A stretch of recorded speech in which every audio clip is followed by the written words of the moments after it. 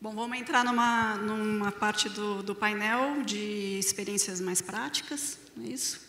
Depois de toda essa teoria e toda essa aula brilhante aí do professor Ladislau, é... Renato Dagnino chegando agora. Renato Dagnino é professor titular da Unicamp, das áreas de estudos sociais da ciência e tecnologia e de política científica e tecnológica. É professor visitante em várias universidades latino-americanas. Entre seus livros mais importantes estão Neutralidade da Ciência e Determinismo Tecnológico, Tecnologia Social, Contribuições Conceituais e Metodológicas e Gestão Estratégica Pública. O Renato tem 20 minutos para fazer uma apresentação e depois a gente vai passar para os, para os demais participantes. Obrigado. Responsabilidade de falar depois de Ladislau, né? Mas vamos lá, vamos ver se a gente consegue abordar esse tema e suscitar mais debate. Me pediram para falar sobre isso, e eu fiquei pensando, bom, é, e o pior é que não era só falar sobre isso. Falar sobre isso dentro desse contexto de, é, da problemática socioambiental. Tem duas coisas que eu queria falar sobre o, o Ladislau. Muito interessante esse negócio da China, né? de descentralizar o gasto público. 18% do PIB é compra pública. Ou seja, aquilo que nós recebemos em troca do imposto que pagamos, saúde, educação, transporte, etc., custa 18% do PIB que vai para as empresas. Bolsa Família é 0,5% do PIB tiramos 30 milhões da miséria. Se a gente conseguisse botar 5% na economia solidária, tiraríamos 10 vezes mais, 300 milhões, mas somos só 200. Dá para fazer um carnaval legal, né? Bom, mas isso agora vamos começar. Então me pediram para falar desses arranjos e dentro desse contexto. Aí eu falei para o meu colega, né, eu sempre me aconselho, e ele me disse: olha, explica primeiro como são os arranjos que existem hoje como é a tecnologia das empresas, qual é o seu impacto socioambiental. E depois, fala da tua dobradinha, tecnologia social e economia solidária. E se der tempo, fala por que a proposta da dobradinha é oportuna para o Brasil hoje.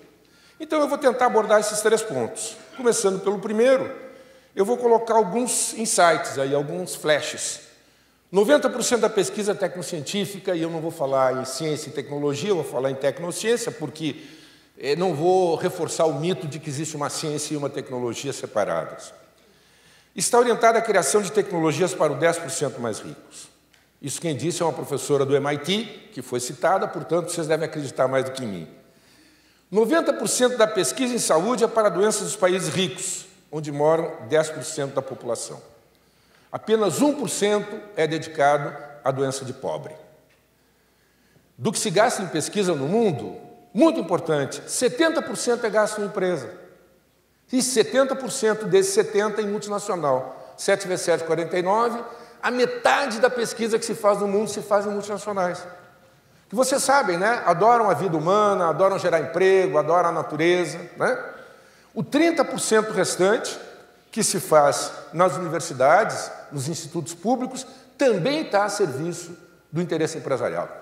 Então, essa dinâmica tecnocientífica que a gente fala, enchendo a boca, absolutamente não é neutra, muito menos universal. Veja, e está também muito claramente direcionada à pesquisa e desenvolvimento militar. Os Estados Unidos gasta um monte de dinheiro, 70% do orçamento público, para a área militar, PID militar. Esse jovem, quando era jovem, essa fotografia mais antiga, né, nos dizia mais ou menos isso.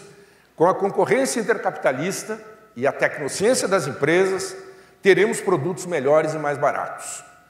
Então, a Windows ia brigar com a Apple, uma ia mandar a outra para aquele lugar, uma ia dar um tiro na primeira e a segunda ia bater com um taco de beisebol na segunda.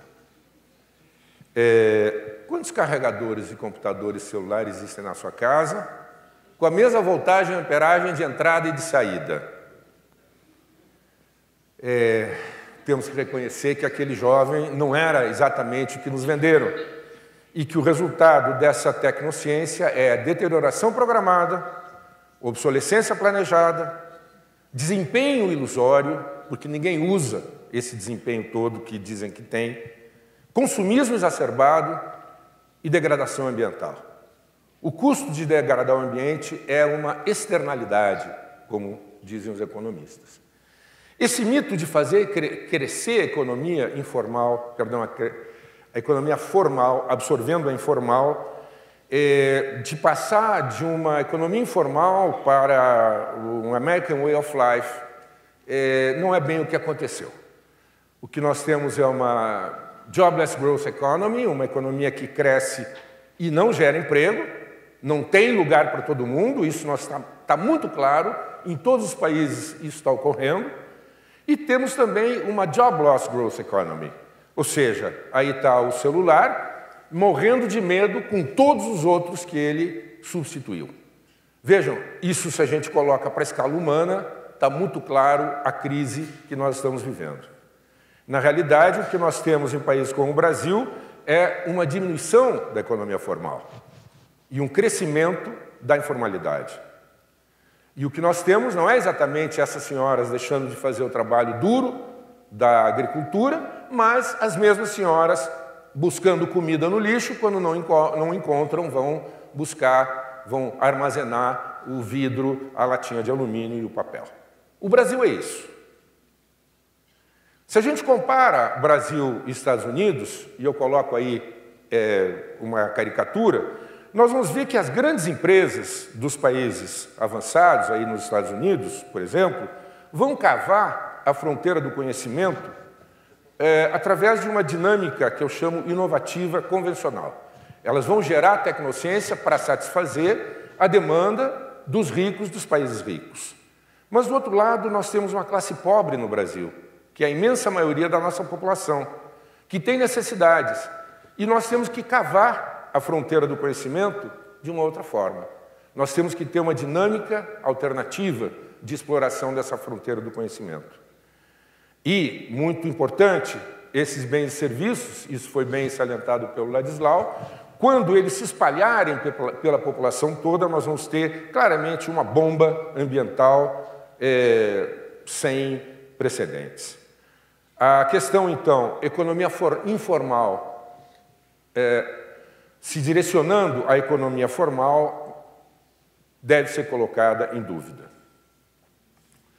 Vamos falar da dobradinha, então. Vamos falar um pouco da tecnologia social e da economia solidária. E vamos começar, vamos entender que nós não podemos demonizar o que já existe. Nós não podemos implodir essa tecnociência herdada. Nós não vamos jogar a criança com a água do banho. E alguém aqui quer voltar para as cavernas comigo? Muito menos comigo. Então, é, é difícil esse dilema que nós estamos. Nós temos que entender que essa tecnociência não serve para aquilo que nós queremos, não serve para democracia, não serve para uma sociedade igualitária, com justiça social, com responsabilidade ambiental.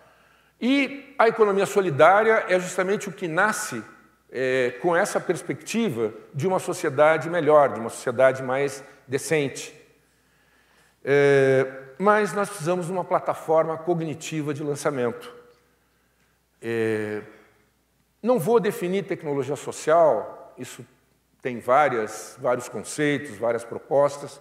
Eu simplesmente vou falar que ela é a que necessitam os arranjos produtivos, os arranjos tecnológicos produtivos, que nos interessa salientar. Aqueles que estão brotando na economia informal e sendo organizados por aqueles que não têm emprego, não têm carteira assinada e tampouco vão ter. E ela é justamente a necessária para garantir a sustentabilidade desses empreendimentos.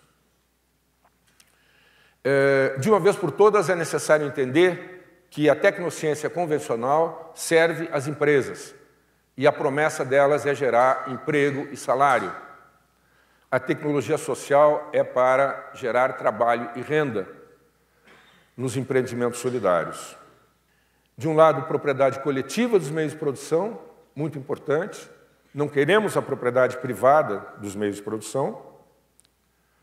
E não acreditamos que seja possível gerar emprego e salário.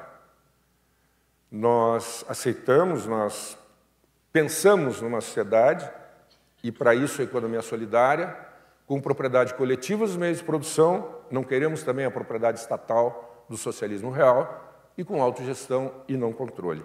Essa é a plataforma é, cognitiva da economia capitalista. Todo dia está saindo um novo foguete. E nós estamos aqui. Essa plataforma cognitiva da economia solidária está em fase de Lego. E esse é um desafio muito grande para a gente que está na universidade. E o que nós estamos tentando, o que nós estamos tentando trabalhar é com o que nós chamamos de adequação sociotécnica. Ou seja, de contaminar os ambientes onde se produz conhecimento com outros interesses e outros valores. E fazer um reprojetamento dessa tecnologia convencional para não jogar a criança com a água do banho, é necessário reprojetar essa tecnociência para que ela possa servir ao nosso interesse. Palavra de ordem, economia solidária. Vamos falar um pouquinho, para terminar, sobre o Brasil. É, até chegar à crise, que foi comentada já aqui, quando tudo dava certo, Bolsa Família gerando demanda, expansão do salário mínimo, a expansão da Previdência, boom das commodities, foi possível criar 18 milhões de empregos formais. Mas nasceram 25 milhões de pessoas nesse período. Ou seja, nem empatamos, quando tudo dava certo. Os excluídos os beneficiários dos programas compensatórios não conseguem emprego na economia formal. Tem vários dados empíricos sobre isso, e isso é uma demonstração clara de que nós temos que pensar cada vez mais em é, trabalho e renda, e menos em emprego e salário. Esse é o gráfico da desindustrialização no país, e esse é o gráfico que mostra um hiato crescente entre é, produção de bens industriais e consumo de bens industriais. Isso está sendo suprido por importações. Dos 207 milhões brasileiros, 160 milhões estão em idade de trabalhar. Desses 160, menos de 30 têm carteira assinada. Menos de 30 estão no setor chamado setor formal da economia. E desses 30, que têm carteira assinada, menos de dois estão na indústria manufatureira. De tal forma que essa ideia de reindustrializar o país e dessa forma gerar crescimento e desenvolvimento, essa ideia que lamentavelmente está muito presente na esquerda brasileira ainda, deve ser é, discutida. Esse eu vou passar. É, a inclusão social, então, não ocorrerá pela via do emprego e salário, e sim pela criação de oportunidades de trabalho e renda. Mas, para que isso ocorra, não esqueçam que, para reprojetar a, a não neutra e enviesada tecnociência capitalista, não basta propor seu uso para o bem. No material que vocês receberam, é, fala do, de usar a tecnologia, das, não, não é dito assim, mas a tecnologia das empresas para fortalecer o movimento social, gerar trabalho e renda. E eu faço aqui, não é bem uma brincadeira, porque custou muito para a humanidade. Lenin e Stalin também tentaram usar a tecnologia convencional, a tecnologia capitalista, para construir o socialismo. E a gente sabe bem do que deu. Uma tecnologia controladora, hierarquizada, de grande escala, demandou uma burocracia, já que não existia patrão. Em consequência, essa burocracia dominou a sociedade soviética. Hoje existem mais milionários por metro quadrado em Moscou do que em Manhattan. Quem são esses milionários? São os filhos e netos, e talvez os próprios, que controlaram a tecnologia convencional, a tecnologia é, que eu chamo aqui de capitalista. É necessário voltar ao velhinho, mas é necessário avançar. É necessário entender que as forças produtivas não avançam linear e inexoravelmente, nos conduzindo do escravismo ao feudalismo, ao capitalismo, ao socialismo e ao comunismo. Não é assim. As relações sociais de produção não vão mudar automaticamente é, em função do chamado desenvolvimento tecnocientífico. É necessário fazer aquilo que nós chamamos de adequação sociotécnica, reprojetamento do código técnico. Com isso eu termino. Muito obrigado.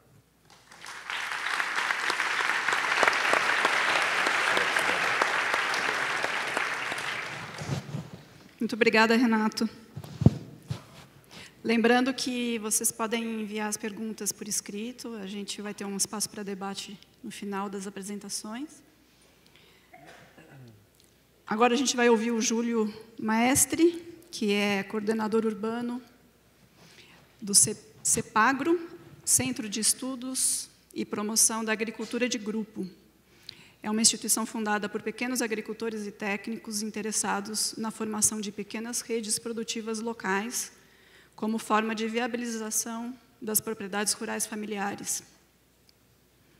O Júlio atua no campo da agroecologia, agindo de forma participativa junto às comunidades rurais e urbanas.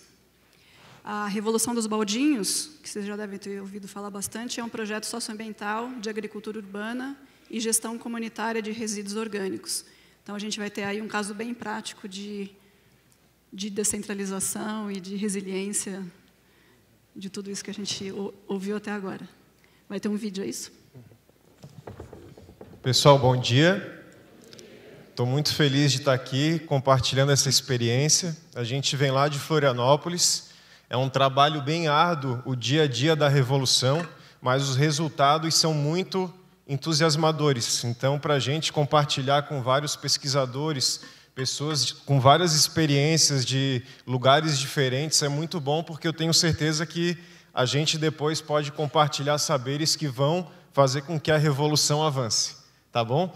Eu não sei se todo mundo conhece a Revolução dos Baldinhos, porque, embora ela seja um pouco famosa, mas não é tanto, tá? Então, eu trouxe um vídeo de quatro minutos, um vídeo bem antigo, mas só para compartilhar, para quem nunca ouviu falar, da gente ter uma visão do que é essa comunidade, onde fica esse lugar. Tá bom? Então, vou pedir para o pessoal lá de trás dar. Vamos ver se, se dá o play.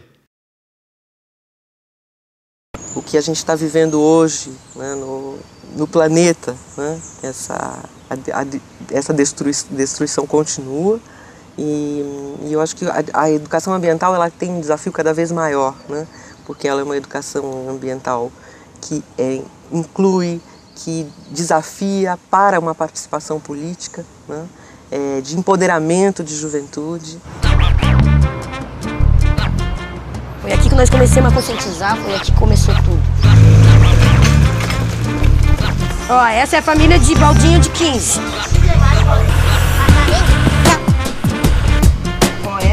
Essa ela cuida? Essa é o ano todo. Mas tem um trator. Esse balde de quem? Essa rua aqui, ó. Que foi a rua que não tinha ratinho, tinha rato do banhado. Só criada a Todd. Ah, Dá. Quando a Lênia veio com esse projeto, eu achei, ah, isso não vai dar nada. Ela disse, ah, não quer participar? Ah, posso até participar, mas mas não, deu certo, graças a Deus, né? Botemos o nome da Revolução dos Baldinhos, porque começou com esses baldinhos. Começou o projeto com cinco famílias, hoje nós estamos com 95. Aí eles vêm voluntariamente. É esse o nosso trabalho melhor da conscientização, deles virem até os pés e depositar os seus orgânicos. Maravilha, adoro isso. Adoro quando trabalha assim. A Revolução dos Baldinhos hoje é esse processo de ter quase 100 famílias, com cada uma com seus baldinhos nas suas casas, destinando o seu resíduo orgânico nesse baldinho, que vai para os pontos de entrega voluntário, onde os jovens coletam duas vezes por semana, trazem para um pátio de compostagem improvisado na escola e depois esse composto é retornado para as casas, para as escolas, para a horta, né? Cada sala vai ter um baldinho agora. Para que, que vai servir esse baldinho? Reste comida! Reste comida, botar casca. Quando ele estiver cheio, vai depositar onde? Aê, na bombona! E esse trabalho de agricultura urbana ele tem a base em trabalho em comunidades de periferia com agroecologia para a produção de alimentos dentro desses espaços urbanos e para a segurança alimentar, né? Peguemos orgânico, trouxemos para onde? A escola para transformar em compostagem. Daí elas querem as mudas para estar tá levando para casa, pedem para os pais plantar, mesmo com pouco espaço, elas com a garrafa PET elas fazem o vasinho, levam principalmente o alface que elas adoram. E esse é um projeto maravilhoso que veio justamente de encontro à nossa proposta. E a gente logo abriu as portas e formamos, como também o grupo já disse, essa parceria com essas lideranças do meio ambiente na nossa comunidade. Para mim foi um resgate, né? Eu estava aí meio quase perdido no crime aí, hoje estou aí trabalhando é na verdade é um, bem dizer, um resgate, é um apoio mesmo, né, para a comunidade. Todo esse processo de conversa, de troca de experiência e de sensibilização é um ato de educação, né? O bonde dos baldinhos tá chegando de cantinho, mostrando para você qual é o seu destino. Se você ficar jogando lixo na rua, você está acabando com o nosso planeta. Você tá alimentando os vermes e as baratas fora um maldito do rato que rasga a sacola de casa. Aí não dá aí eu não vou aguentar. Pegar a doença do rato, haha, eu estou fora, aí não dá, aí eu não vou aguentar. Pegar a doença do rato, haha, eu estou fora. O bonde dos baldinhos tá chegando de cantinho, mostrando pra você qual é o seu destino.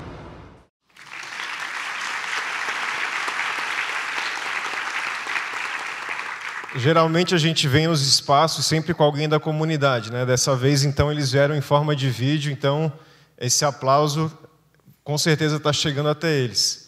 A revolução dos baldinhos, então, ela surgiu por, uma, por um problema real, né? Na comunidade, dois jovens faleceram pela leptospirose. Então, juntaram lideranças, o CEPAGRO fazia um trabalho de hortas escolares, que foi como a gente começou a trabalhar com a agricultura urbana, Nisso se popularizou a compostagem na comunidade e um médico explicando o ciclo do rato, ele disse: não adianta só colocar veneno. Se o alimento estiver na rua, eles vão vir numa proporção ainda maior. Então, vamos separar esse resíduo, vamos tirar a comida do rato. E aí começou então a distribuição dos baldinhos. Só deu certo, pessoal, porque não foi o Sepagro lá, o Júlio, batendo de casa em casa. Senão, quem é esse cara, né? Não funciona. Então, só deu certo porque aqui, ó, a Lene, a Anice, depois aqui o, o pessoal entregando o baldinho, a própria comunidade é que quis assumir isso, né? Então, as agentes ambientais foram de casa em casa e elas tinham metas. Cada semana a gente vai distribuir oito baldinhos. E assim começou a revolução. Outra estratégia foi trabalhar nas escolas. Na comunidade tem nove escolas. Então, se às vezes a família, né, como ontem o, o Ailton comentou, a gente ainda tá, já está muito distante né, dessa, dessa relação com a terra. E a criança ela ainda tem um pezinho na terra. Então, se a gente não consegue sensibilizar o adulto diretamente, o trabalho nas escolas ajuda a fortalecer, porque eles estão muito pilhados ainda. Não, mãe, tem que separar no baldinho. Então, isso criou uma rede de uma correta separação. Só um, detalhe: todo mundo, todo mundo dizia vai dar errado. Comunidade de periferia mais violenta de Florianópolis, que também tem isso em Florianópolis, tá? Tráfico assim ó, no meio da rua, bem escancarado. Pessoal, ah, vão chutar as bombonas, né? vão derramar todo o resíduo na rua. E por ter esse envolvimento local, as bombonas ficam lá, do lado dos postes, na frente de alguma casa, e estão lá até hoje. Às vezes, uma uma some, mas assim, sempre ah, o outro pegou lá, eles conseguem é, localizar novamente. Aqui é mais ou menos depois do projeto já melhor constituído, então a gente vê as ruas limpas, né, com as bombonas, os PEVs, pontos de entrega voluntário, que cada 5, 10 casas tem um PEV. E esse é mais ou menos um esqueminha do projeto. Então, participam várias entidades locais, né, o grupo tem essa questão de articular com o centro de saúde. A gente ganhou um prêmio de melhores práticas de saúde por trazer o conhecimento das medicinais também. Enfim, tudo que envolve a natureza dialoga com todos os setores, desde a economia, é, enfim, todos os setores a gente está dialogando. E uma das estratégias, um do, dos pontos também do sucesso da Revolução dos Baldinhos, é evidenciar o método UFSC de compostagem que quando a gente fala de compostagem, a gente está falando de mais de dois mil anos atrás. Esse método ele é inspirado nos camponeses indianos, que há muito tempo, né, colocando sobras de culturas, estercos, se viu que as plantas eram mais saudáveis e os animais saudáveis. Mas, na verdade, quem inventou isso foi a natureza. Né? Embaixo das árvores, cai as folhas, cai os frutos, tem mais fertilidade, as mudas vêm com mais vigor. Então, é mais uma sistematização nossa, mas essa tecnologia antiga, hoje ela é super atual. Porque dentro dos sistemas de compostagem tem revolvimento diário, tem lonas, insuflação. Nada reduz o tempo mínimo da natureza. Dá para acelerar, mas antes de três meses a gente não consegue ter um adubo cheiroso. Então, aqui no método UFSC, ele chama leiras estáticas com aeração passiva. O que, que é isso? A gente monta uma camada de palha, né, uma, como se fosse uma moldura, que a própria arquitetura dela proporciona o ar entrar. Então, o ar entra, as bactérias termofílicas esquentam, sai o ar na forma de vapor e cria um ciclo de ar. E aqui a gente está falando de bactérias que estão na terrinha preta naturalmente. Dentro desses grupos de bactérias tem Streptomyces, que está em 70% dos antibióticos, tem o fungo penicilina. Então, a, o nosso professor fala que a gente está vivendo num ambiente é, positivo. Tanto é que crianças que brincam com a terra, elas são imunes de várias doenças. Né? Então, aqui a gente tem bactérias do bem. Depois, naturalmente, vem as minhocas e centopeias, não precisa ser californiana, é a brasileira mesmo. Tá? Então, e por que, que é um sucesso? Porque, por ela esquentar, 70% da água que está no alimento sai na forma de vapor ou na forma de composto líquido. Para a gente ter um, um dado, é, 70%, igual o nosso corpo, do alimento é água. Então, quando a gente manda para o aterro e paga 2 milhões de reais, só um, para facilitar a conta, 1 milhão são resíduos orgânicos. É palha, é uma poda, são sobras de comida. Desse 1 milhão, 70% é água, ou seja, 700 mil.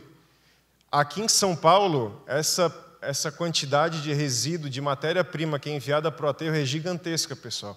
Vocês não têm noção.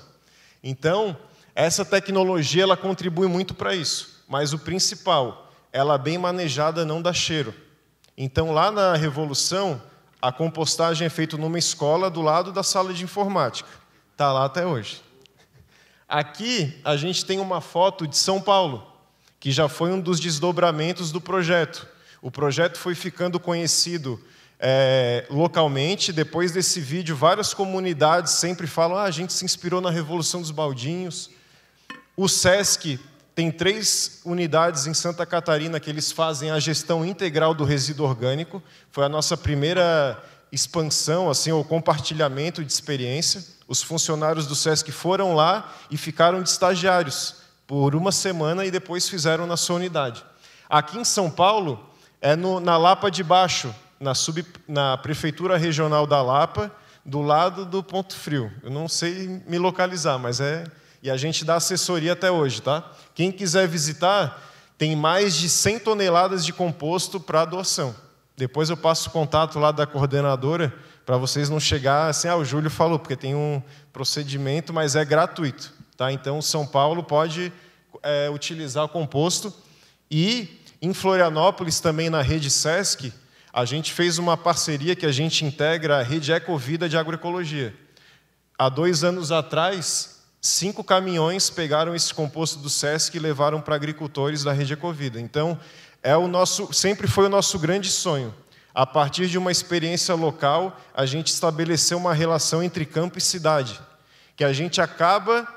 É, ontem se falou né, do, do é, da questão de estar tudo centrado no homem, mas também tem muita questão de estar centrado na cidade e o campo né, não tem, a gente não tem uma relação muito íntima. Então, essa ideia de a gente absorve o alimento e devolve em forma de composto né, é uma, é, sempre foi o nosso sonho enquanto Cepagro também.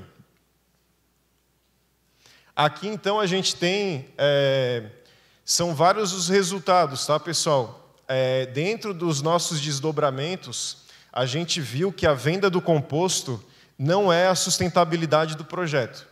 Ele é uma gordurinha. Tem mês que vende mil, tem mês que vende 15 reais, não dá para contar, hoje a gente lá na Revolução não conta com a venda do composto. Para a nossa sustentabilidade, o que a gente vê, que prevê na Política Nacional de Resíduo Sólido, é, ao invés da prefeitura pagar para enterrar, paga para associações, cooperativas ou empresas para reciclar. Então a gente está agora numa, tramitando uma política de agricultura urbana e no plano de gestão de resíduo do município, essa questão está pautado lá. Falta aquela aprovação final, mas está caminhando. Porque isso sim garante a sustentabilidade. Se a gente faz uma sensibilização e mobiliza 10 toneladas de resíduo por mês, é 10 toneladas de resíduo por mês. Isso é, é, varia muito pouco. Tem uma oscilação no verão, ou seja, lá em Florianópolis, se 10 toneladas fosse pago para a Revolução, isso dava em torno de 15 mil reais para o grupo.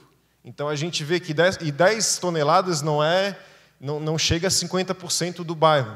Então, assim, essas pequenas experiências podem fomentar iniciativas, porque tem recurso, tem que ter recurso. E eu acho que esse, essa articulação é, que, vai, que começa no município já está amparada pela política nacional, só precisa ser estabelecida de fato. Né? Aqui a gente tem, lá na Revolução, pessoal, as casas são uma amontoada das outras, tá? Então é, lá é mais vazio mesmo. Não tem grandes hortas, mas é, 80% da comunidade veio do meio rural, pelo êxodo. Então eles têm uma relação, ah, meu avô plantava tal plantinha que era bom para o chá tal. Então esse elo é, foi muito importante, mas a, a grande conquista foi ter reduzido o número de ratos mesmo. Quando a gente fala, por que, que o projeto é bom para vocês? Porque reduziu o rato. Não é de horta, não é que eu, lá o, a, quem participa ganha gratuitamente o composto, não é por ganhar o composto, é por ter reduzido o rato.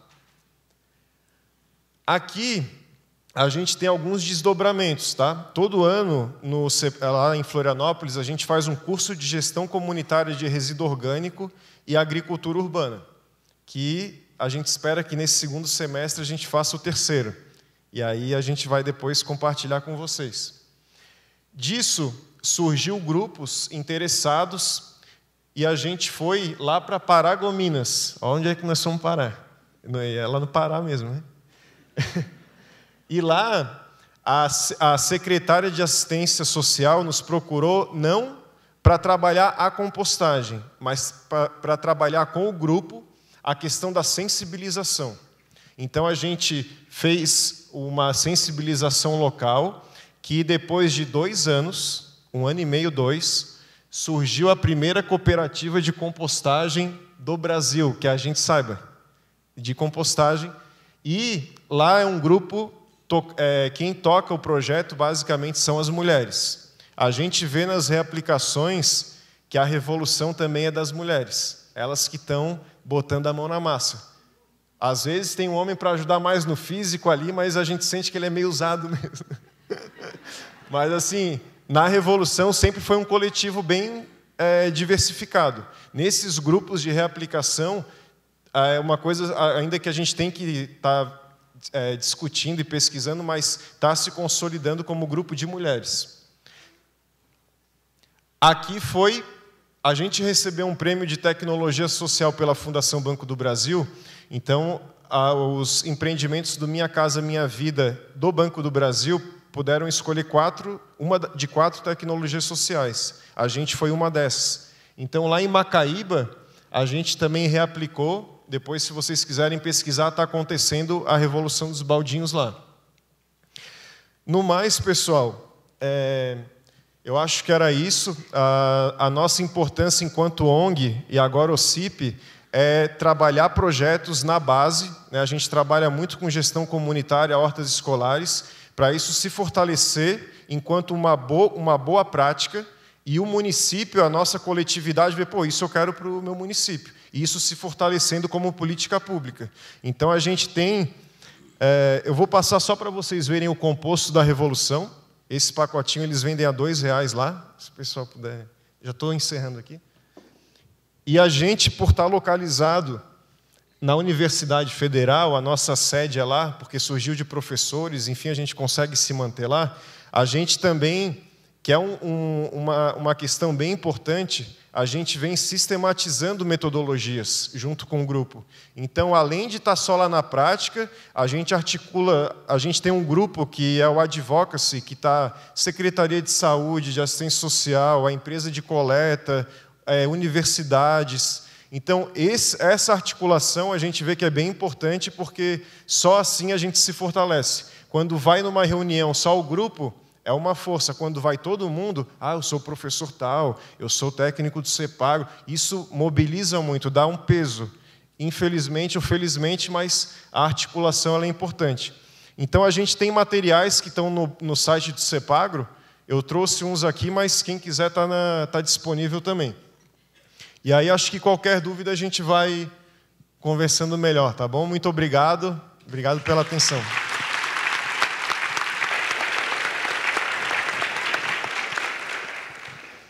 Muito obrigada, Júlio.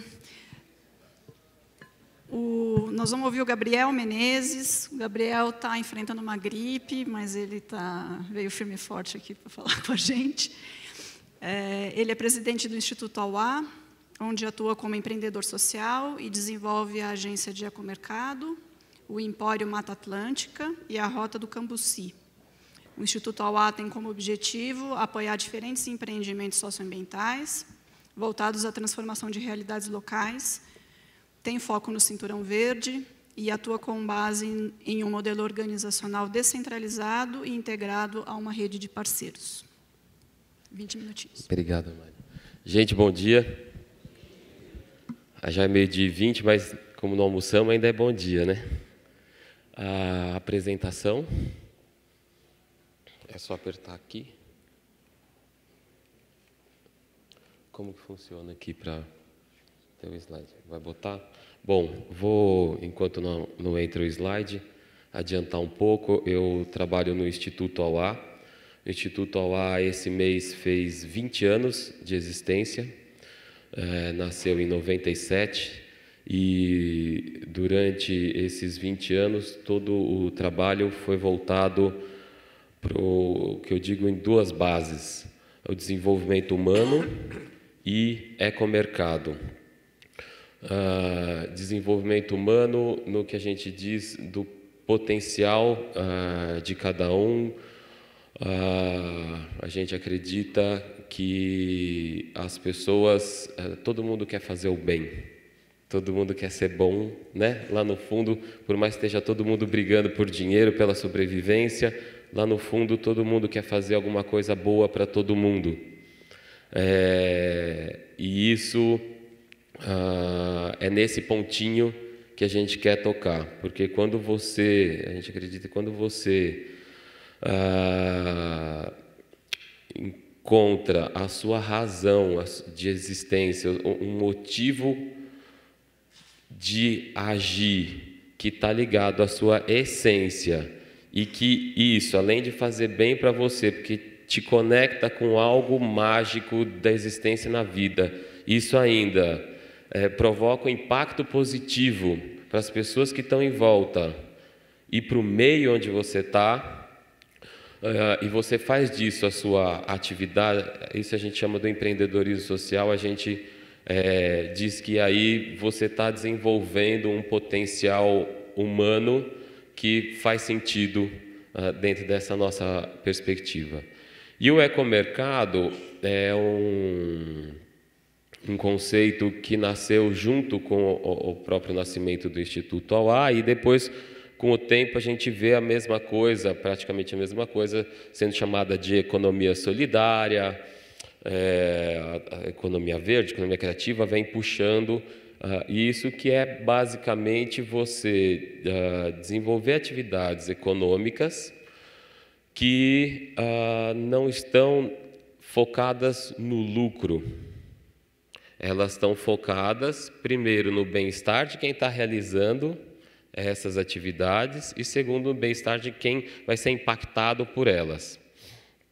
Principalmente quando essa cadeia produtiva ela ah, promove a conservação ambiental.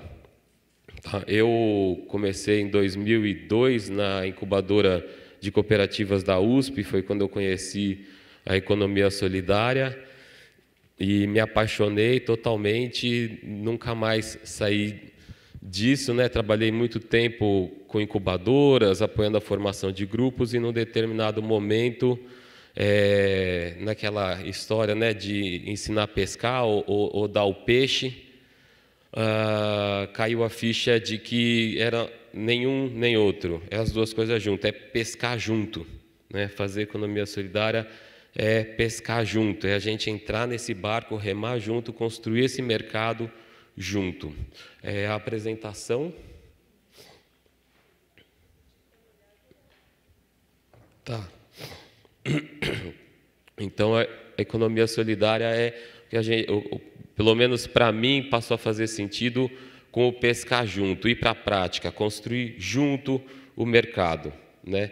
É, é uma grande satisfação tá, ter essa oportunidade de apresentar o caso aqui no, SESC, ah, junto com o evento, com tantas pessoas de, de referência que ajudaram a construir o nosso, o nosso fundamento, o fundamento do nosso trabalho, ah, como Pedro Jacobs. Quer falar alguma coisa?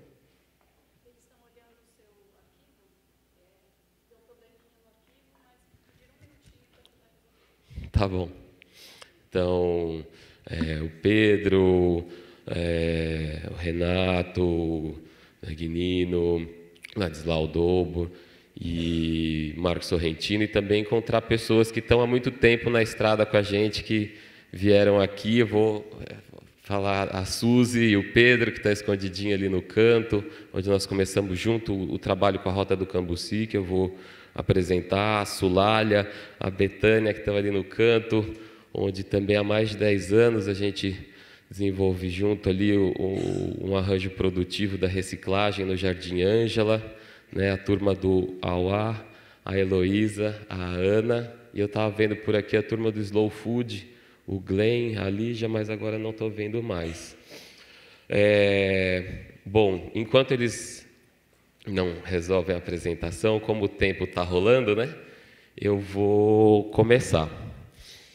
É, o Instituto Auá, ele, ele passou por uma mudança é, de gestão há três anos atrás. Ele, na verdade, não se chamava Instituto Auá, chamava-se APSE, Associação Holística de Participação Comunitária Ecológica.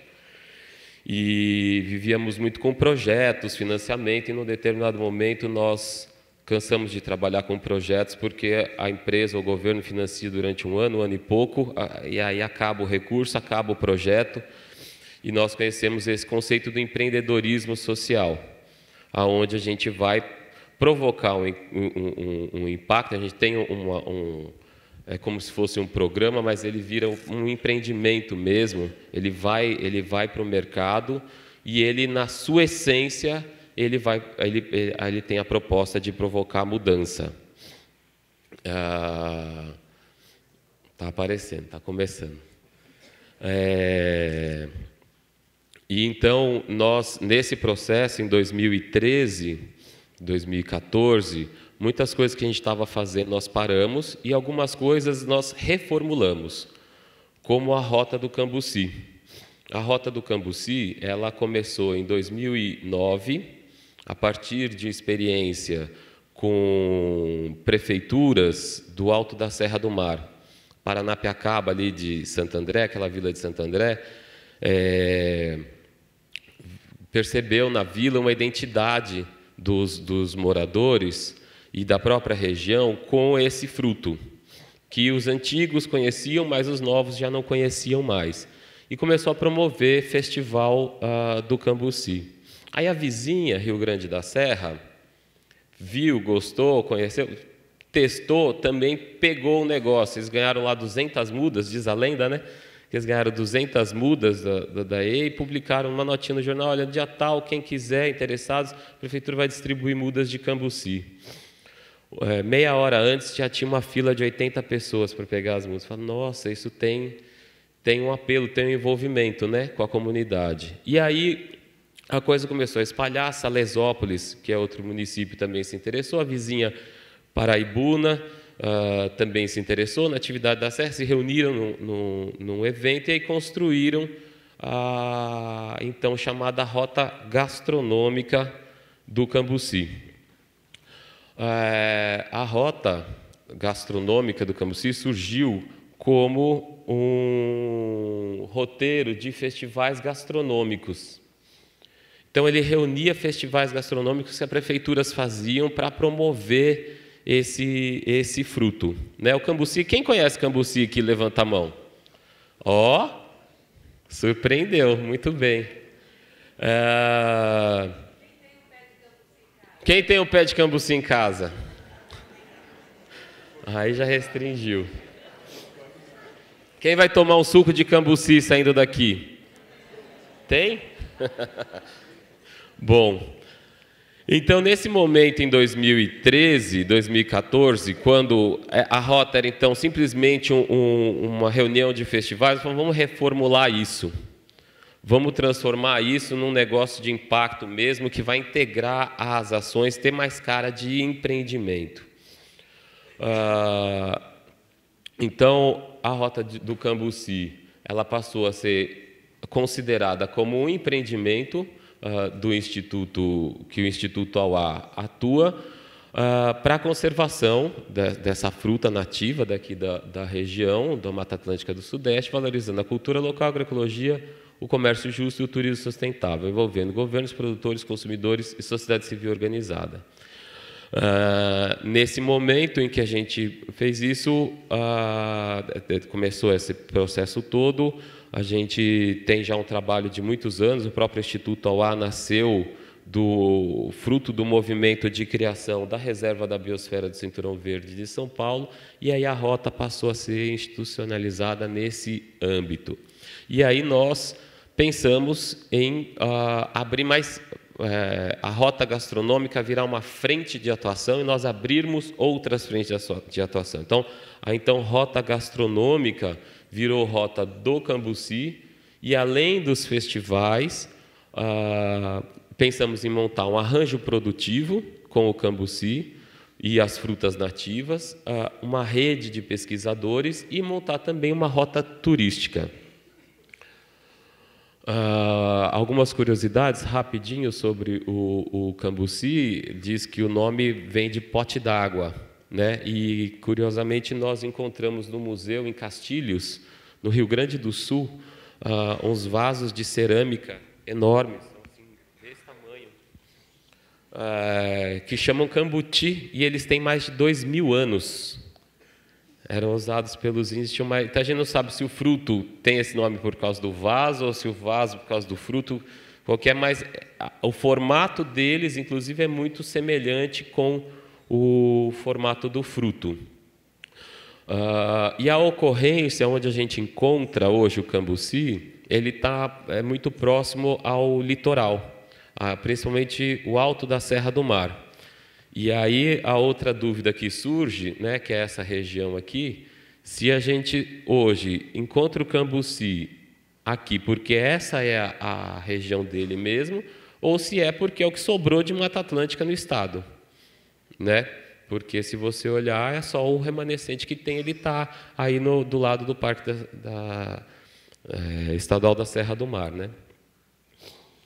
Uh, algumas curiosidades do, do fruto, eu vou passar devido ao tempo, mas então a missão da Rota do Cambuci, ela é, que, eu, que eu tinha falado, né, essa daqui, e quais são os impactos que nós esperamos com isso. Então, primeira coisa, é trazer mais visibilidade e conhecimento e, e, e vontade de consumir. A população né? Aqui muita gente conhece, mas se você for ali para a calçada e perguntar, o Cambuci é o bairro, né? o Araçá é o cemitério, Jussara é o nome da prima, o Vai é um tipo de uva. Né?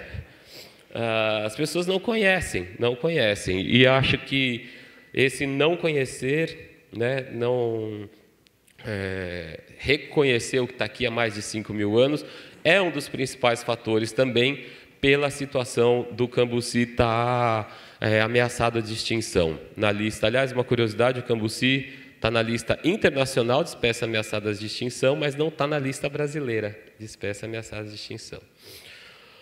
Uh, o segundo, aumento de terras agrícolas convertidas para o cultivo sustentável do cambuci com outras nativas e aumento de renda para os seus produtores nas regiões onde o fruto é endêmico, especialmente no entorno da Serra do Mar Paulista. Então, o que a gente quer? Daqui 20 anos, daqui 10 anos, 20 anos, ver quantos hectares de terra nessa região onde a gente está atuando, que eram de pasto, de eucalipto, de monoculturas de exóticas, e que foram transformadas em sistemas agroflorestais com nativas.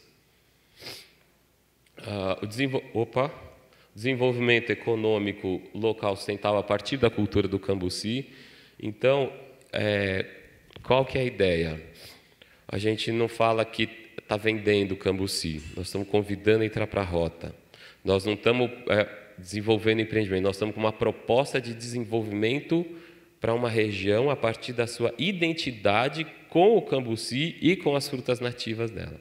Não tem a rota do vinho da Serra Gaúcha?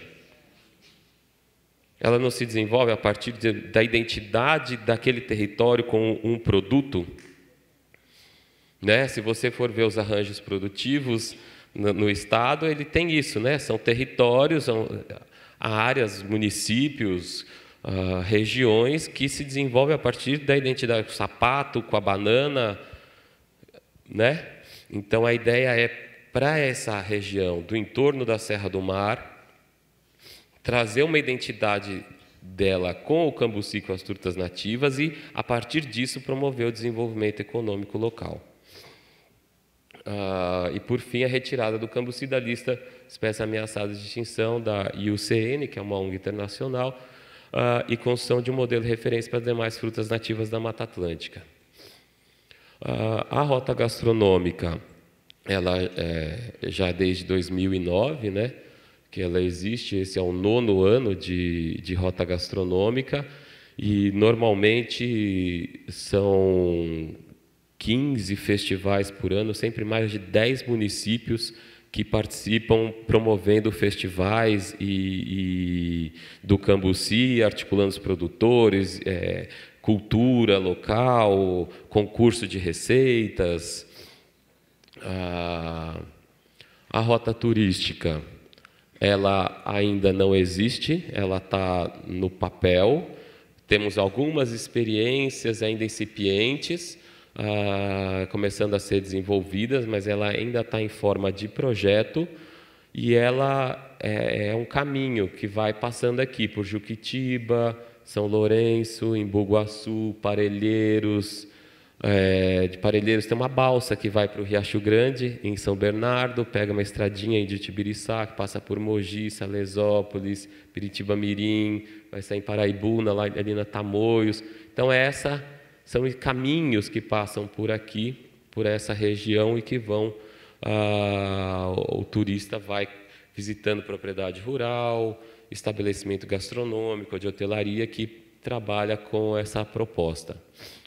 O arranjo produtivo sustentável ele começou em 2014.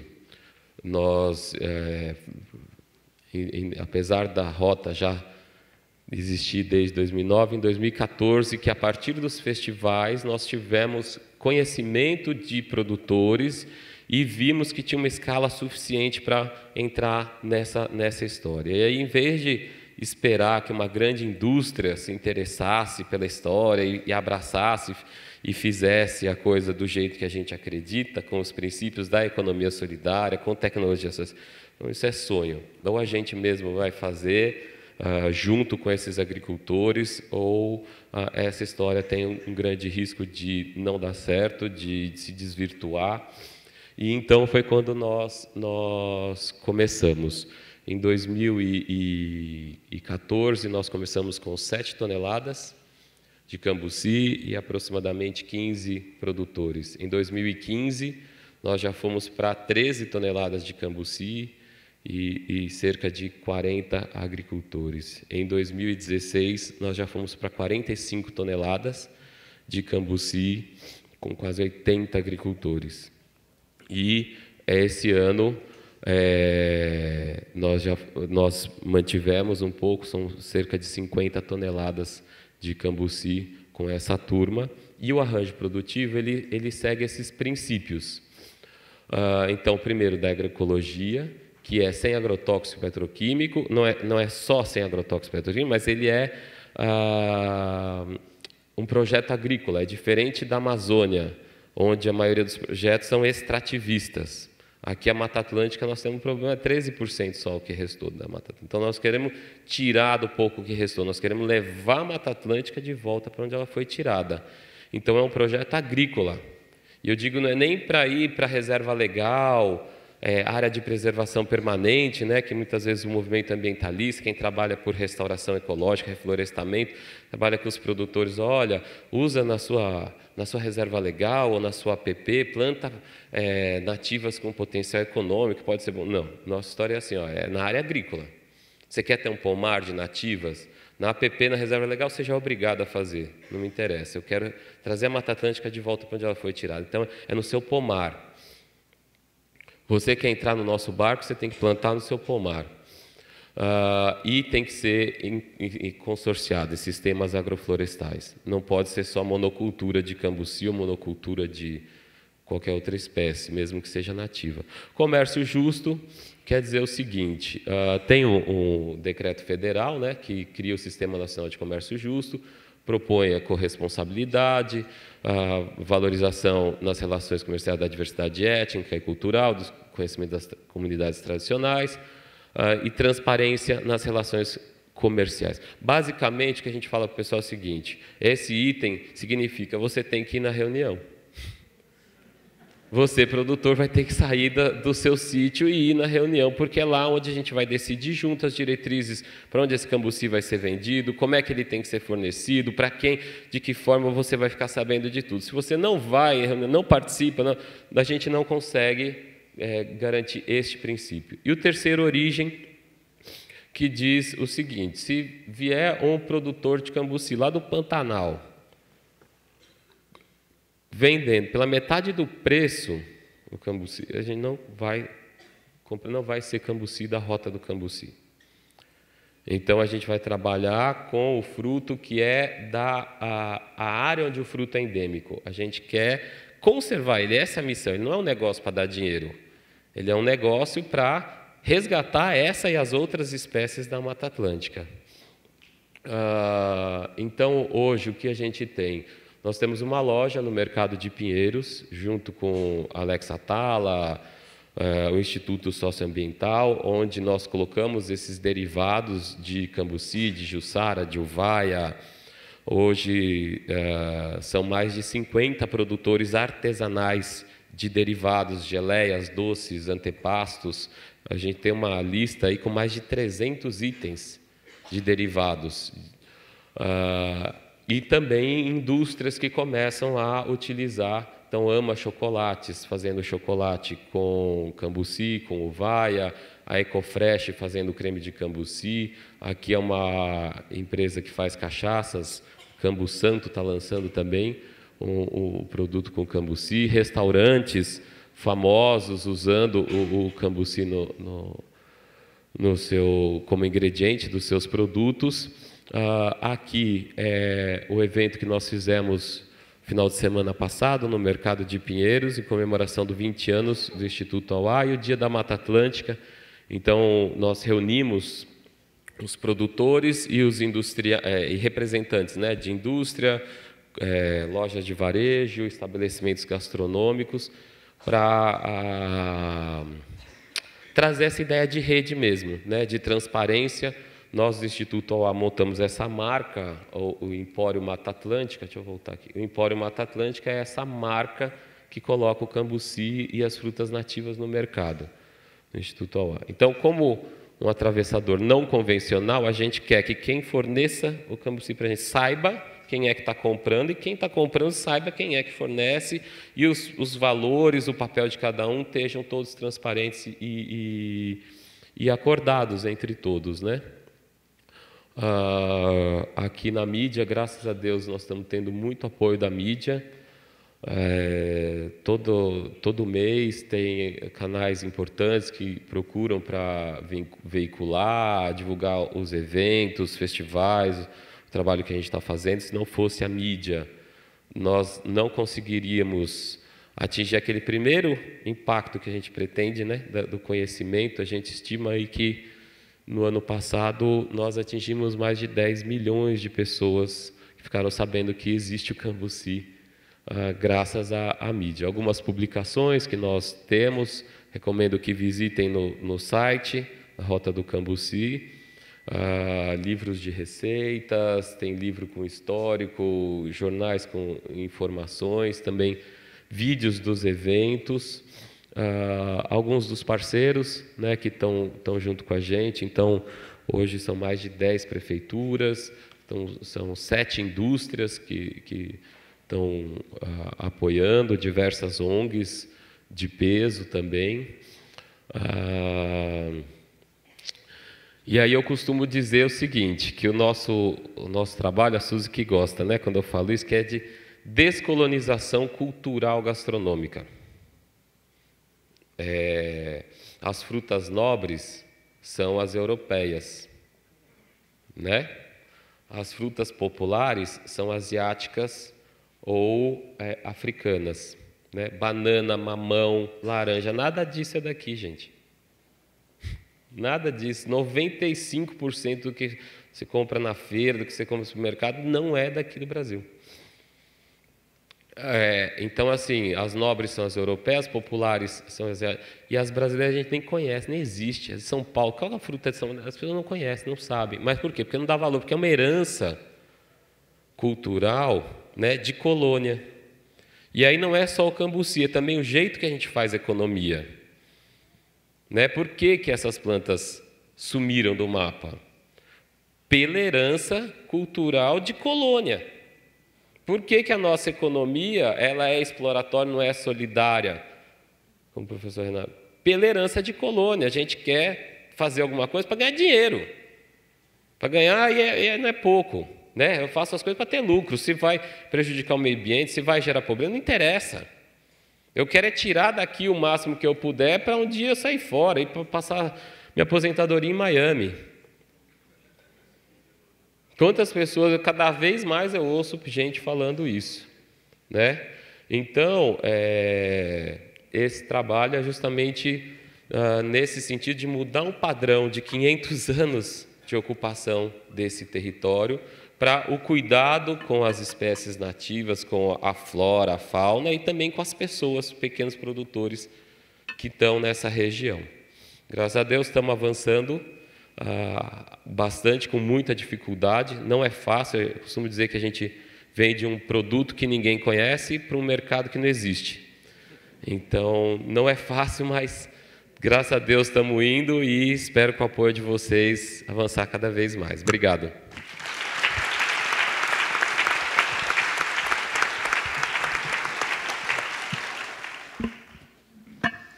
Temos algumas perguntas aqui da plateia, é, do Leco Xavier, para os três painelistas, é, falando dessa questão do apoio. Né? Então, você mostrou agora um slide com apoio de bastante prefeitura, várias empresas, várias prefeituras de vários municípios.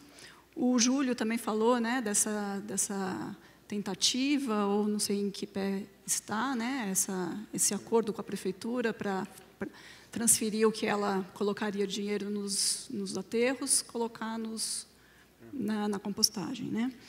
É, e, então, eu queria que vocês analisassem como vocês estão observando o papel do, do governo e de empresas também é, para o sucesso dessas práticas que são de base, né? que são de, bem, bem descentralizadas, como é que esse, esse apoio está acontecendo, se realmente a gente ainda está nos 500 anos atrás da, da exploração predatória, ou se está tendo alguma evolução em relação a isso. Quem gostaria de começar? Então, é, lá na Revolução dos Baldinhos, desde o início, é, eles começaram, elas começaram voluntárias, né? Depois a gente, para viabilizar o projeto, a gente foi construindo isso com o grupo, né, o que, que seria, quantas pessoas para trabalhar, o que, que seria interessante o projeto contemplar. E desde 2008 a gente vem é, conseguindo manter o projeto por editais e premiações. É, há dois anos atrás, a gente começou uma parceria com o ITCP, que é a Incubadora Tecnológica de Cooperativas Populares de uma universidade lá do Sul, que é a Univale, para o grupo criar um plano de negócios e tocar por conta própria. Agora a gente está na fase que o Sepagro está saindo e estamos deixando a revolução, o grupo. Ó, agora é com vocês. Isso já há três anos, né? Não, vamos escrever mais esse, mas ó, agora é com vocês. Então, o grupo tem uma dificuldade de gestão, porque é isso. Uma comunidade que não teve educação, a educação que teve é para servir, né? eu quero receber ordens, é difícil eu, ah, eu quero, eu vou estipular minha meta. É muito difícil, a gente vê isso na, em comunidades de periferia, mas eles, ao, ao mesmo tempo, tem muita, é, surgem muitas lideranças. Então, eles estão nesse processo, Ano passado a gente eles eles fizeram um crowdfunding, financiamento coletivo, que vai até setembro desse ano. Então assim, ó, nossa. E em paralelo, o Marquito que apareceu aqui no vídeo, hoje ele é vereador lá do de Florianópolis, pelo pessoal. Ele tem puxado a sua assessoria de jurídica para constituir a cooperativa da Revolução, tem dado esse apoio ao grupo. Então, hoje a Revolução não é só aquele grupo. Tá, tem pequenas outras revoluções do, dos baldinhos em comunidades de Florianópolis e eles estão se unindo para criar uma cooperativa só. Porque a gente tinha dificuldade de ter no mínimo sete pessoas, pessoas que entendessem de, de, do administrativo, outra que fosse, enfim. Então, eles estão agora nessa etapa e eu vejo assim que o apoio ele é importante, principalmente nesse, nessa fase inicial. Tem que ter editais, o governo tem que, enfim, essas, a gente tem muitos fundos internacionais que apoiam, mas a gente tem que caminhar para um desligamento, que agora a gente está nessa fase assim, a gente fica meio assim, ah, será que não estamos deixando eles muito soltos, mas está sendo bom. Então, assim, agora vamos ver o que, que vai dar. Apoio. Duvido que algum de vocês me cite o caso de uma empresa que não tenha subsídio governamental. No mundo inteiro. No mundo inteiro, não existe uma empresa privada que não ganhe dinheiro público. E a economia solidária, o que, que ganha? que mais que a empresa precisa? que mais que a classe proprietária precisa nesse país? 9% do PIB é o serviço da dívida, que vai para quem? Para mim não vem nada, vai para os grandes empresários, vai para os bancos. Eu não vou estimar a corrupção, mas para quem é que vai isso? Para a classe proprietária. A taxa de lucro no Brasil é a maior do mundo. Se a taxa de juro é a maior do mundo, é porque a taxa de lucro também. É, 18% do PIB é compra pública. Para onde? Para as empresas. Vai somando tudo isso. 14% do PIB é sonegação das empresas. Vai somando tudo isso. E vê quanto recebe a economia solidária. Vê quanto recebe tudo isso que nós estamos falando. Cada universidade nesse país tem uma incubadora de empresas que consome bom dinheiro da própria universidade e do CNPq, da FINEP, etc, etc. E as incubadoras de cooperativas populares que você citou, o que, que recebem? Migalhas. Então, gente, não vamos enganar, tem uma questão social, política, de classe social aí. O nosso Estado é uma construção da classe dominante para ela mesma. Nós aqui estamos lutando, todos nós, embora não digamos isso explicitamente, porque nem é necessário, por uma sociedade distinta. E essa sociedade distinta, é claro que precisa apoio, é claro que precisa subsídio, é claro que precisa pegar uma parte desse poder de compra e é, é, do Estado, e eu estou citando apenas um, um, uma, uma questão, e colocar junto à economia solidária e organizar esses setores. E não pode ser apenas catador e dona de casa, não. Existe uma infinidade de atividades que podem ser feitas através de cooperativas.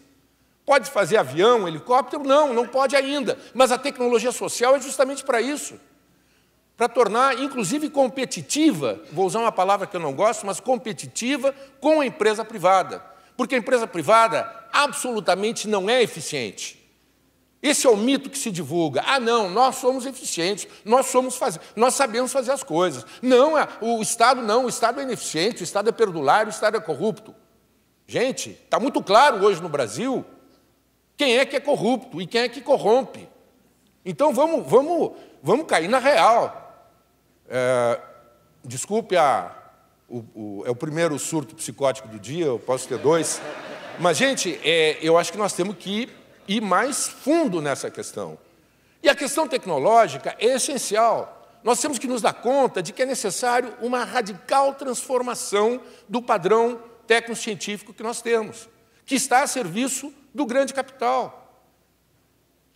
E não adianta dizer, ah, nós produzimos o suficiente alimento para todo mundo comer bem no mundo inteiro. Mas não adianta, se produz concentrado, depois não divide.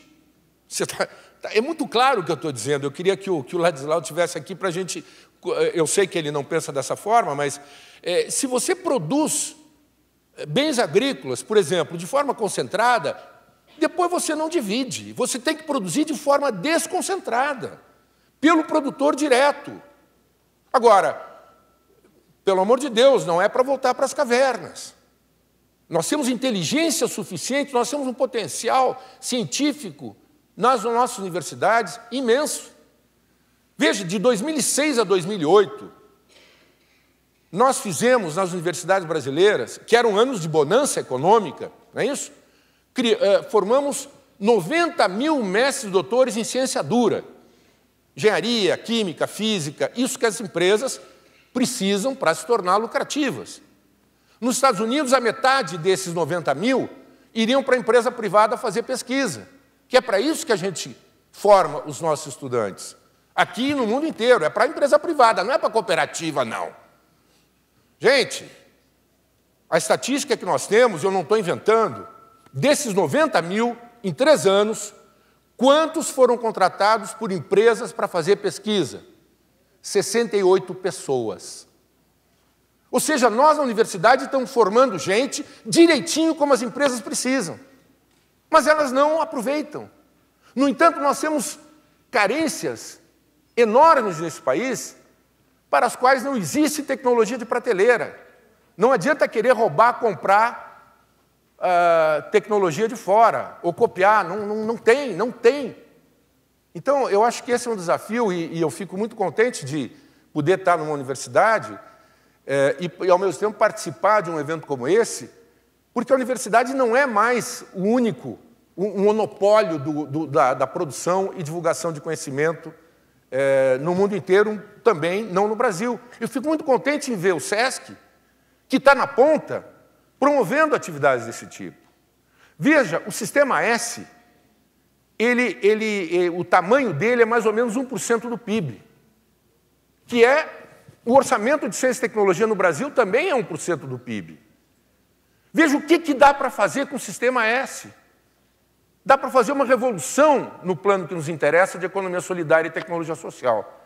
Então, eu, eu fico muito contente é, de poder estar aqui é, com vocês, refletindo sobre isso e, e cooptando e chamando não só o SESC, mas o SENAI, sobretudo, porque nós temos que transformar esse país, nós temos que viver é, numa sociedade melhor. Desculpe o tempo.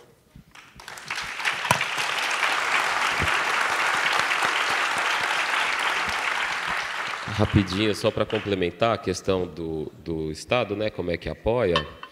Uh, queria reforçar que assim hoje é a questão do consumo, né? Então, como o professor falou, é que durante muitos anos, né, se a propriedade a coletiva dos meios de produção, isso seria a chave da mudança.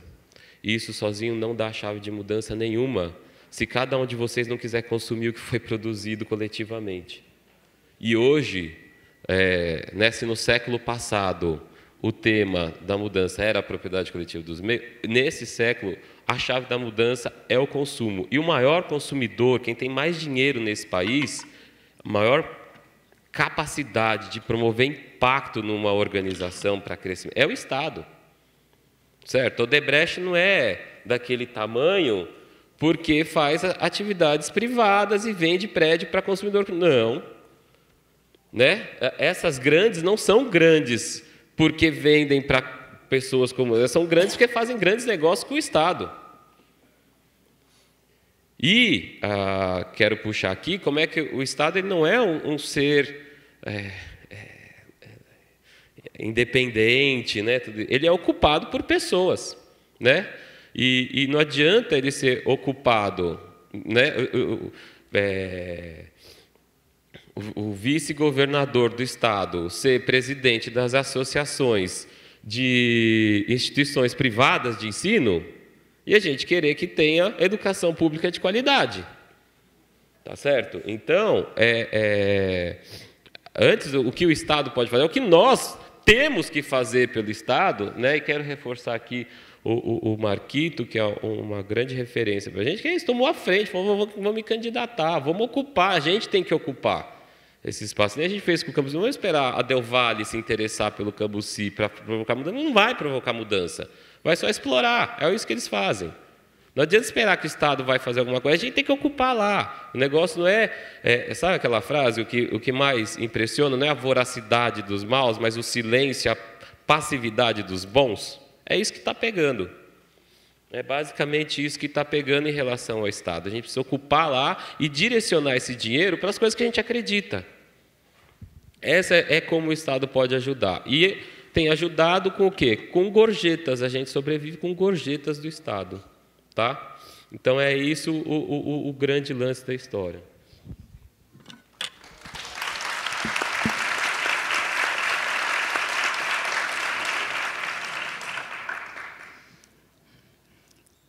Renato, tem uma pergunta aqui do Hélio, falando sobre economia solidária. É, ele pergunta se é cabível né, em políticas públicas é, é, usar a economia solidária como uma maneira de é, empregar, né? a gente tem aí todos esses milhões de desempregados, como é que a economia solidária ela poderia absorver, com apoio né, do Estado, poderia absorver é, tanto os desempregados como as pessoas que estão na terceira idade, e como que isso poderia melhorar a vida na cidade e isso se refletir também no campo. Então, é, a gente falou, nós somos, cento, somos 207 milhões, 160 em idade de trabalhar. Desses 160, hoje, menos de 30 têm carteira assinada. E volto a dizer, quando tudo deu certo, a gente não conseguiu nem empatar. Os 28 milhões de empregos formais que foram gerados durante o governo Lula e Dilma, lamentavelmente são empregos formais 94% de menos de três salários mínimos. Então, é, tem um problema aí. Quer dizer, está muito claro que o nosso futuro não pode ser um futuro de empresa privada empregando e pagando salário. Não vai ter emprego e salário. É uma jobless growth economy. Estou falando em inglês para todo mundo entender. Quer dizer, tem, tem que cair a ficha. Tem que cair a ficha. Não tem mais ficha, mas tem que cair a ficha. Quer dizer, lamentavelmente, é, o, o, melhor cenário, eu vou falar bem francamente, quem me conhece sabe que eu sou assim mesmo, quem não me conhece vai ter que me conhecer. O melhor cenário que nós temos é ter eleição ano que vem e ganhar o Lula. Agora, se o Lula ganhar, e veja, e eu sou do PT, se o Lula ganhar, qual vai ser a palavra de ordem do seu programa de governo? Vai ser emprego e salário ou trabalho e renda? Vai ser emprego e salário. Mesmo porque o senso comum nos diz onde o inimigo fustiga, é aí que nós temos que defender. Onde é que o inimigo está fustigando? Essa crise toda, entre aspas, isso tudo que está acontecendo é por quê? É porque o custo da mão de obra aumentou nesse país. E os empresários que estavam ganhando um monte de dinheiro, porque a demanda estava explodindo, quando uma, uh, terminou o boom das commodities, etc., etc., eles puraram, puxaram o tapete. Por quê? Sentiram que a taxa de lucro deles ia diminuir. É, eu estou explicando muito rapidamente, mas para chamar atenção o seguinte: esse pacto social que foi construído nesses últimos 20 anos no país, ou 30 anos, ele não se sustenta. Por quê? Porque nós não temos mais nada para entregar para o empresariado. Eu acabei de falar, as multinacionais do, do setor automobilístico dizem a minha taxa de lucro no Brasil é três vezes a que eu ganho no meu país de origem. Então eu fico pensando, esse melhor cenário, ele ainda assim é um cenário, é um cenário ruim. Por quê? Porque nós vamos ter uma tendência muito grande dentro da esquerda de repetir aquilo que foi o passado recente. E isso não vai resolver os problemas do país. Aqui se falou em ensinar a pescar, é, né, dar o peixe, ensinar a pescar, etc. E, e fazer tudo isso junto ao mesmo tempo, tudo incluído. É por aí, é por aí. A gente tem uma enorme capacidade de trabalho nesse país que não está sendo aproveitada. Eu acho isso é o principal problema que nós temos que pensar. São 160 milhões de brasileiros como nós, só que não foi dada a eles a oportunidade de viver. E eles estão vegetando, a maior parte deles está vegetando. Isso é muito triste. E eu volto a dizer: se nesses meses que nos separam daquele cenário desejável que eu aqui coloquei, nós não discutirmos com maior profundidade o que, que deve ser a política, as, as políticas públicas que vão é, delinear o nosso futuro, nós temos um risco muito grande de, na melhor das hipóteses, repetir. Não é que seja ruim o que aconteceu, né, no, no, nos governos da esquerda na América Latina inteira. Mas esses governos não souberam fazer a transição no campo produtivo, no campo tecnológico, no campo é, que nos permitiria aproveitar a nossa capacidade de uma maneira mais coerente com o cenário que a gente quer construir para os nossos netos. É por aí.